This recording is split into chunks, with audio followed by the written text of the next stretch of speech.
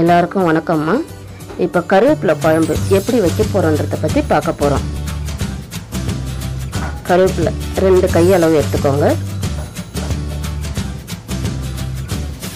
மிக்சியில் இந்த கருவேப்பிலையை போட்டுக்கோங்க.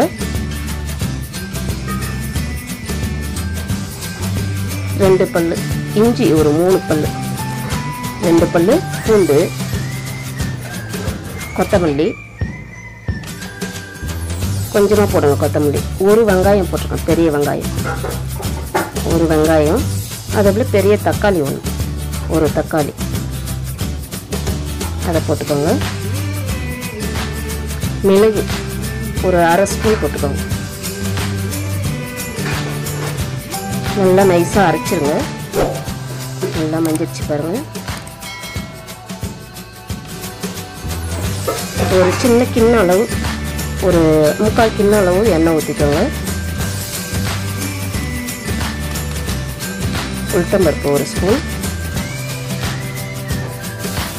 கடுகு ஒரு ஸ்பூன். பூண்டு வந்து ஒரு கையளவு நல்லா உரிச்ச பூண்டு வச்சுக்கோங்க. நல்லாயிருக்கும் இதை வந்து அதில் வதக்கிடுங்க. நல்லா வதங்கிடுச்சு. ரொம்ப தீயாத அளவுக்கு ஸ்லிம்மில் வச்சாது பண்ணுங்கள் ஓரளவு வதங்கினா போதும். ரொம்ப வதக்க தேவையில்லை. அந்த நம்ம அரைச்சி வச்ச கருவேப்பிலையும் அதில் ஆட் பண்ணிக்கோங்க. நல்லா வதக்கிடுங்க. அந்த பச்சை ஸ்பல் போகிற அளவுக்கு நல்லா வதக்கிடணும்.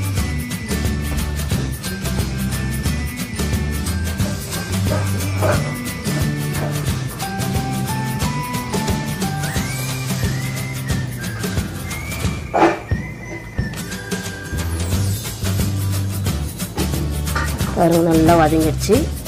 குழம்பு மிளகாத்தூள் ஒரு ரெண்டு ஸ்பூன் போட்டுக்கோங்க அதுலேயே.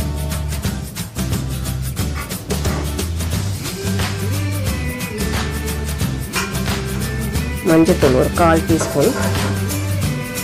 நல்லா அதையும் அதுலேயே வதக்கிடுங்க. நல்லா வதக்கிடுங்க. நல்லா எண்ணெய் தெரியிற அளவுக்கு வதக்கணும். முடிக்கெல்லாம் ரொம்ப ஹேர் எல்லாம் ரொம்ப நல்லது. சீரகத்தூள் ஒரு டீஸ்பூன் போட்டுக்கோங்க. முடி நல்லா கருப்பாக வளரும். இப்போல்லாம் சின்ன பசங்களுக்கு வெள்ளை முடி நிறைய வருது. அதனால் இந்த கருவேப்பிலை குழம்பு அடிக்கடி பசங்களுக்கு செய்து கொடுத்தா நல்லா இருக்கும். முடியும் நல்லா கருகருன்னு வளரும். இந்த புளி வந்து ஒரு எலுமிச்சை பழத்தில் பாதி அளவு ஊற வச்சா போதும். அதை வந்து நல்லா கரைச்சி அதில் ஆட் பண்ணிக்கோங்க. ஒரு ஒரு கிளாஸ் தண்ணி ஊற்றிக்கோங்க நல்லா காரக்குழம்பு மாதிரியே நல்லா கொதிக்க விடுங்க. சால்ட்டு தேவையான அளவுக்கு ஒரு ஒன்றரை ஸ்பூன் போட்டிருக்கேன். நல்லா பூண்டு வேகிற அளவுக்கு இருந்தால் போதும். இந்த வீடியோ உங்களுக்கு பிடிச்சிருந்தா லைக் பண்ணுங்கள் ஷேர் பண்ணுங்கள் சப்ஸ்கிரைப் பண்ணுங்கள்